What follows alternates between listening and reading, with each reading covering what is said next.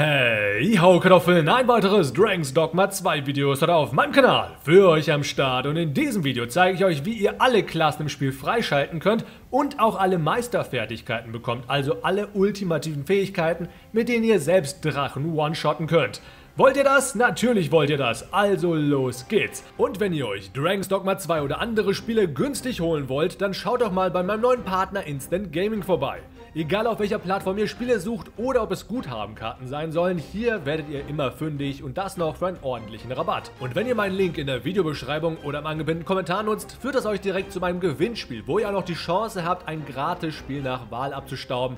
Also schaut auf jeden Fall vorbei und gönnt euch. Als allererstes Mal wollt ihr in Vorbereitung nach Wernworth gehen, also einfach der Hauptquest folgen, bis ihr hier angekommen seid und mit dem Hauptmann reden könnt. Und das wollt ihr auch, denn mit der ersten Hauptquest der Monsterjagd werdet ihr so ein bisschen die Teile der Welt erkunden und schaltet auch die Möglichkeit frei, in Melf, wenn ihr zurückkommt, den ersten Drachen zu bekämpfen. Und das wollt ihr auf jeden Fall, denn damit schaltet ihr die mystische Klinge frei. Ihr könnt diesen Drachen auch direkt besiegen, wenn ihr die Balliste in Melf benutzt. Dann bekommt ihr sogar den ultimativen Skill direkt hier gratis einfach so von Sigurd geschenkt. Falls es hier noch nicht klappen sollte, falls ihr den Drachen äh, einfach so bekämpft habt und der irgendwann weggeflogen ist, so wie ich das gemacht habe, keine Sorge, ihr bekommt den Skill natürlich trotzdem später. Erstmal könnt ihr Sigurd in seinem Haus in Dorf Harve später wieder treffen. Hier könnt ihr ihm theoretisch auch ein paar Blumensträuße überreichen und es kann schon sein, dass das ausreicht, um die ultimative Fähigkeit zu bekommen, aber später im Verlauf der Story müsst ihr sowieso nochmal mit ihm gemeinsam in Dragon Breath Tower den Pusteldrachen besiegen. Also so oder so werdet ihr hier spätestens nochmal auf ihn treffen und mit ihm gemeinsam diesen Drachen besiegen und dann am Schluss bekommt ihr auf jeden Fall den ultimativen Skill von ihm. Und es trifft sich echt gut, dass ihr hier nach dem Drachenangriff in Dorf Melf ebenfalls den ultimativen Skill für den Kämpfer bekommt von Lennart. Das ist der etwas ältere weise Herr, der immer auf Ulrike acht gibt und nachdem der Drache vertrieben ist, entweder weil er geflohen ist oder weil ihr ihn besiegt habt, gibt es ein Zwiegespräch zwischen den allen und danach wird Lennart euch ansprechen, sofern ihr auch davor ein paar Nebenquests mit ihm gemacht habt. Das eine ist von Wernworth aus mit dem Ochsenkarren zu ihm gehen und einen Brief überreichen und das andere ist die Echsennester auszurotten, sage ich mal.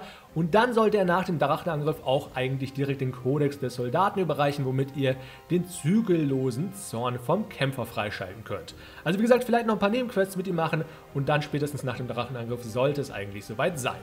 Den Krieger müsst ihr erstmal freischalten, da könnt ihr in Wernworth zur Laufbahngilde gehen und wenn ihr euch das da anguckt, wird er euch sagen, der Mann, dass ihr sowohl den Krieger als auch den Erzmagier noch nicht freischalten könnt und ihr da erstmal die Waffen besorgen müsst. Also macht die Quest, geht zur Trevo-Mine und holt da drinnen den Zweihänder und Grimhorn oder Gramhorn für den Erzmagier, so schaltet ihr beide Klassen direkt hier frei. Und damit ihr den ultimativen Skill bekommt, müsst ihr im Anfangsgebiet ein paar Quests für Bären machen. Er wird hier in diesem Blumenfeld sein, also wirklich direkt neben dem Außenposten der Grenzwache, wo ihr im Spiel quasi aufwacht. Und hier wird er euch erstmal auftragen, ein paar Waffen zu besorgen und einen Rekruten, der bereit ist, trainiert zu werden. Diesen Rekruten findet ihr auch in Wernworth und die Waffen könnt ihr von überall besorgen. Wenn ihr jetzt ein paar weitere Quests gemacht habt und dann ins Anfangsgebiet zurückkehrt, wird er hier beim Blumenfeld eine weitere Quest für euch haben. Und zwar gibt es dann einen Zyklopenangriff. Die letzte Lektion heißt diese Nebenquest. Sobald dieser Zyklop abgewehrt ist, wird Bären sagen, dass er mehr oder weniger entlassen wurde.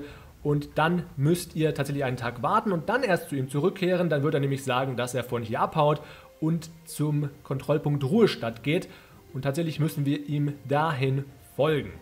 Ihr müsst also etwas weiter weggehen von Warnow, könnt den Ochsenkarren dahin nehmen und um da drüber zu kommen über das Tor, müsst ihr entweder schon weit genug in der Hauptstory sein, dass ihr die Krönungsfeier gesehen habt. Dann bekommt ihr nämlich einen Passierschein. Und mit der Beastrin-Maske, die ihr bei äh, Ibrahims Kuriositätenladen kaufen könnt, was auch hier im Kontrollpunkt Ruhestadt ist, könnt ihr einfach so das Tor passieren.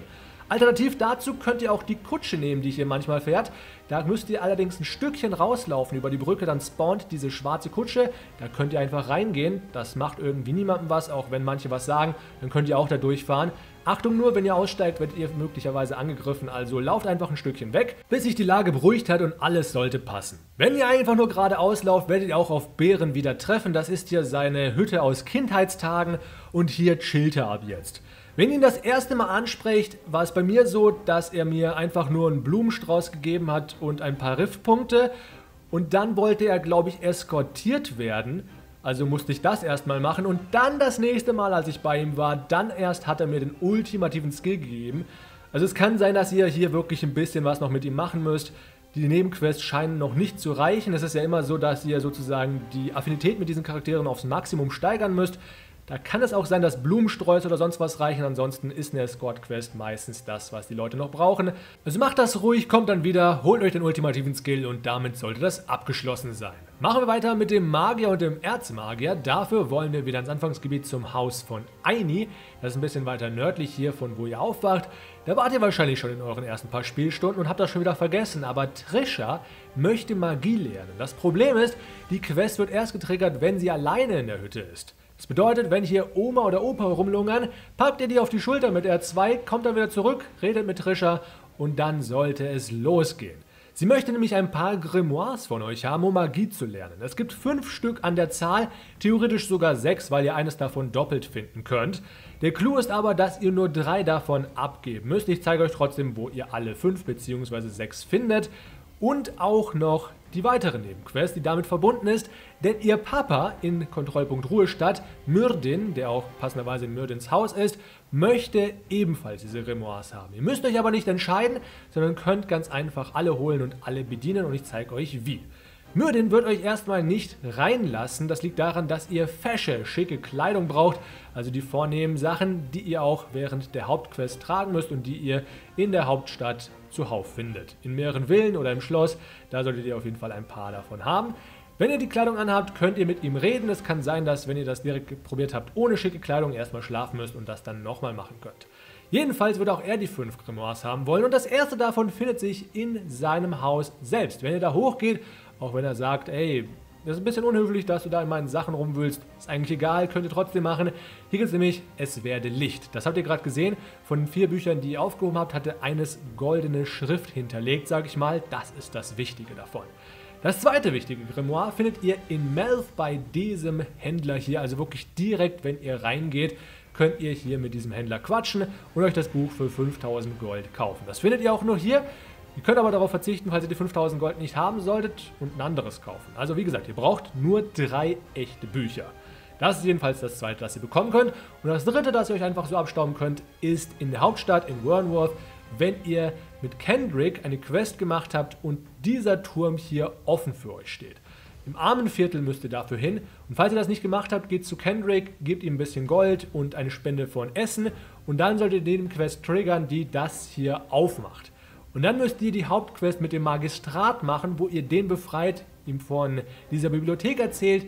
Und wenn das alles abgeschlossen ist, könnt ihr ihn hier wieder treffen. Der Magistrat wird dann ein bisschen was mit euch palavern, sagt, dass er eine Brille braucht, vielleicht noch andere Nebenquests mit euch abschließen und dann sagt er euch auch, ja, ihr wollt ein Grimoire? Kein Problem, habe ich hier gerade rumliegen und hier bekommt ihr das dritte der fünf Grimoires. Und die letzten zwei gibt es in der Wasserfallhöhle, ebenfalls relativ am Anfang schon erreichbar, ihr seht es gerade, und dann im ersten Stockwerk gibt es eine kleine Bibliothek, wo es in der Kiste die letzten zwei Grimoires gibt, Totenglocke Nation und Heulender Schneesturm. Die Totenglocke der Nation gibt es noch ein weiteres Mal zu finden beim alten Schlachtfeld. Wenn ihr da zum ersten Mal hingeht, gibt es einen NPC, der wird euch dahin führen und da könnt ihr noch ein weiteres Mal Totenglocke der Nation bekommen. Also insgesamt gibt es sechs richtige Grimoires zu finden. Ihr könnt also theoretisch jetzt sowohl Trisha als auch ihrem Papa jeweils drei echte Grimoires geben und die Quest wäre erfüllt. Wenn ihr jetzt nicht alle besorgen wollt, könnt ihr genauso gut auch nur drei echte besorgen und diese dann in Ibrahims Kuriositätenladen in Ruhestadt kopieren. Denn der Papa nimmt auch die Fälschungen an. Aber ganz wichtig, wirklich nur an ihn die Fälschungen geben, wenn überhaupt. Denn wenn ihr sie an Trisha gebt, dann bekommt ihr nicht ihren ultimativen Skill und die Quest schlägt fehl. Also sie braucht wirklich echte Exemplare und mindestens drei dieser Grimoires. Theoretisch könnt ihr also drei echte auch an den Papa geben oder drei Fälschungen oder zwei Fälschungen und ein echtes, ist egal. Hauptsache drei echte an Trisha und irgendwelche drei an ihn. Es müssen aber natürlich entweder Kopien von den Grimoires sein oder echte. Jedenfalls, wenn ihr diese Quest abgeschlossen habt, dann wird er ein bisschen mit euch labern, erstmal einen Mantel geben und die Quest erfüllt und dann wird er euch noch ein weiteres Mal ansprechen für die Chronik und da bekommt ihr Malstrom, damit könnt ihr dann riesige Tornados herbeibeschwören. So, Jetzt müsst ihr aufpassen, dass Trisha auch möglichst allein in der Hütte ist, wenn ihr die Grimoires übergebt, damit die Quest auch weiterhin funktioniert. Wie gesagt, drei Stück reichen da. Hauptsache es sind auch Originale dabei. Wenn ihr Kopien braucht, theoretisch kann man die euch überreichen. Also falls ihr da Probleme habt und euch irgendwas fehlt, könnt ihr es auch in die Kommentare schreiben. Wenn ihr auf der PS5 zockt, dann kann ich euch da vielleicht aushelfen, indem ich euren Vasallen ausleihe und dem was als Geschenk mitgebe. Na gut, ist das also überreicht, wollt ihr einmal übernachten und am nächsten Tag wieder zu ihr gehen. Das Problem ist jetzt, diese Quest triggert nicht immer. Es gibt wohl ein Problem dabei, dass die olle Omi von ihr manchmal einfach tot ist und diese Quest nicht weitergeht. Das erkennt ihr daran, dass ihr am nächsten Tag einfach nichts passiert. Also normalerweise sollte sofort was triggern. Deswegen, falls das bei euch auch so sein sollte, und das scheint wirklich oft der Fall zu sein, geht wieder nach Warrenworth und dann ins Leichenschauhaus. Also da, wo die ganzen toten NPCs auftauchen.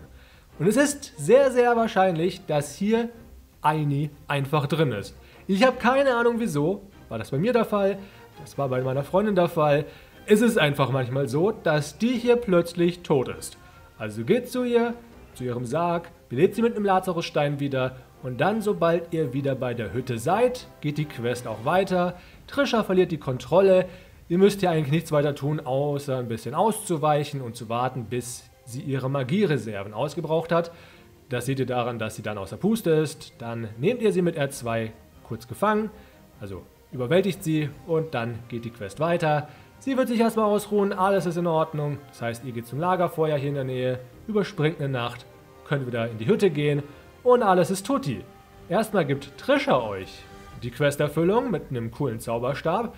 Dann wird sie euch nochmal ansprechen und euch die ultimative Fähigkeit geben. Und danach wird euch die olle Omi ansprechen, die gerade noch auf der Schwelle zum Totenreich stand und euch ebenfalls die ultimative Fähigkeit für den normalen Magier geben. So habt ihr also zwei für den Erzmagier und eine für den normalen Magier. Ich weiß, es war ein bisschen kompliziert, aber ich hoffe, ich konnte somit alle Fragen klären. Falls trotzdem noch welche offen sind oder ihr Hilfe braucht bei gewissen Sachen, schreibt es gerne in die Kommentare.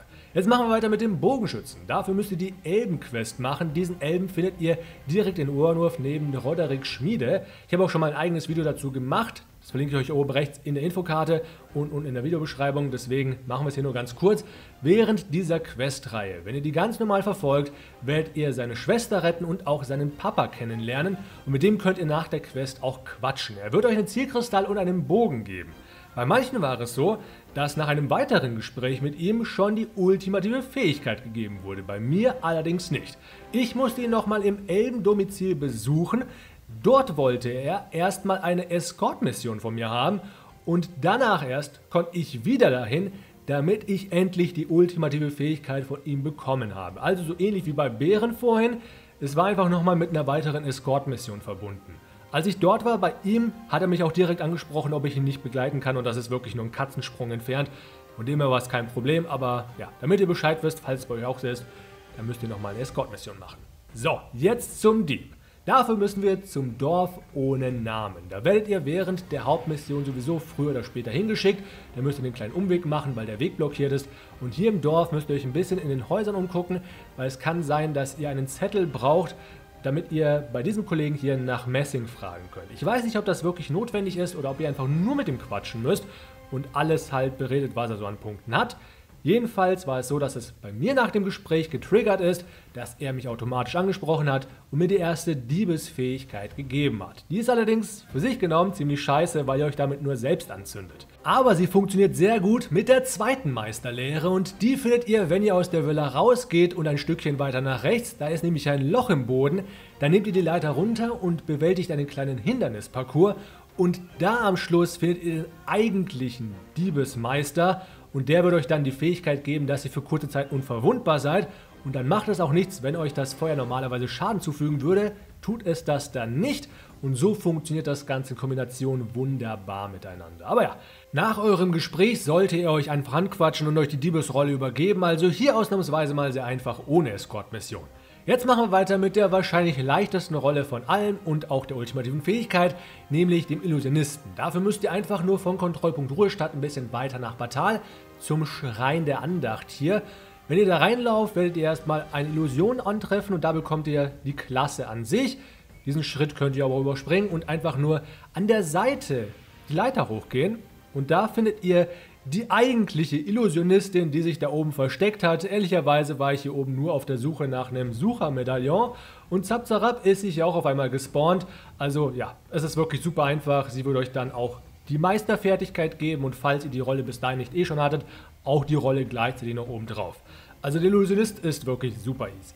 Und wenn wir schon mal da sind, wollen wir noch ein Stückchen weiter nach Süden, nämlich zur Vulkaninsel und letzten zwei Rollen zu bekommen. Aber Vielleicht lohnt es sich davor noch einen Abstecher in Bakbatal zu machen und uns da im Nordosten beim Verkaufsstand von Hicks Taverne einfinden. Denn wir brauchen drei Flaschen Molchlikör für den Kriegsmeister und den können wir gemeinsam mit dem magischen Bogenschützen eigentlich an dem gleichen Ort und Fleck freischalten. Diese drei Flaschen Molchlikör bekommt ihr im Spiel auch an anderer Stelle noch zusammen, aber am einfachsten ist es hier beim Verkaufsstand, wenn ihr diese, ich sag mal, Futtersäcke einfach in diesen kleinen Stall legt. Das Problem ist nur, wenn ihr da keine Beastrin-Maske anhabt, wird euch der Verkäufer da die Wachen an den Hals rufen und verprügeln lassen, ins Gefängnis stecken. Deswegen immer die Beastrin-Maske vorhin aufsetzen, aber die habt ihr wahrscheinlich eh schon. Wie gesagt, die gibt es ja beim guten alten Ibrahim zu kaufen, den Kontrollpunkt Ruhestadt. Wenn ihr also die Bistro-Maske aufhattet, dann könnt ihr hier einfach reingehen, das ist dann der geheime Zugang und hier könnt ihr genau drei Flaschen Moltlikör für 15.000 Gold kaufen. Viel mehr braucht das auch nicht. Ihr könnt euch den zwar auch selber kombinieren aus Fruchtwein, den ihr manchmal bei Quests bekommt, und Echsenschwänzen. Ihr bekommt auch eine Flasche Molchlikör später, wenn wir uns um den magischen Bogenschützen kümmern. Aber hier habt ihr die drei Flaschen schon mal sicher. Mehr braucht es gar nicht für die Quest. Also, machen wir uns weiter von Bagbatal weiter nach Süden auf die Vulkaninsel. Ich habe euch den Weg gerade aufgezeigt, das ist noch ein Stückchen weiter südlich durch die Grotte durch. Der Weg ist ein bisschen beschwerlich, weil da relativ viele Gegner sind, aber wenn ihr vorsichtig seid, sollte das eigentlich kein Problem sein. Und direkt, wenn ihr auf der Vulkaninsel angelangt seid, werdet ihr auch diesem Zwerg hier begegnen. Er braucht erstmal drei Kräuter von euch. Ich bin mir sicher, ihr habt mittlerweile mehr als genug davon. Die gibt es ja überall am Wegesrand zu looten. Dann könnt ihr ein Stückchen weiter nördlich zu seiner Hütte gehen, ein Zwiegespräch zwischen ihm und seiner Gattin belauschen und dann in seiner Hütte erstmal einen Molchlikör looten, der Gute besäuft sich also ganz gerne mal, und ihn dann anbieten, weil sein Rücken immer noch wehtut, ihn zu den heißen Quellen zu begleiten. Das ist auch kein Problem, das ist nur ein Stückchen weiter östlich, also wirklich kein großer Marsch. Das Einzige, was manchmal nervt, ist, dass er darauf beharrt, dass er nicht ganz so schnell lauft, weil es sein Rücken nicht mitmacht. Also tut ihm den Gefallen, geht ein bisschen langsamer oder tragt ihn selber ein Stück des Weges auf euren Armen. Auch das ist eine valide Taktik. Jedenfalls werdet ihr dann zum Vulkaninsellager kommen. Hier ein paar Holzgerüste hoch und schon seid ihr bei den heißen Quellen. Davor wird euch noch ein Typ anquatschen, der wird gleich noch wichtig für die letzte Kriegsmeisterlehre, aber erstmal den Zwerg hier abgeladen. Er wird sich auf zu den heißen Quellen machen und seine Gattin spricht uns an, weil die uns verfolgt hat. Sie hat sich Sorgen gemacht, aber das völlig unbegründet. Wir haben ihm natürlich nur geholfen, nach dem besten Wissen und Gewissen und dafür bekommen wir als Belohnung die magische Bogenschützenrolle. Erstmal die Rolle, danach wird sie einen nochmal anquatschen für die ultimative Fähigkeit. Also die bekommen wir hier gleich, genauso wie beim Illusionisten, direkt mit der Rolle hinzu. Und jetzt, ja, wo wir schon mal hier sind, quatschen wir mit dem Typen, der gerade was von uns wollte und geben ihm ein paar Molchliköre.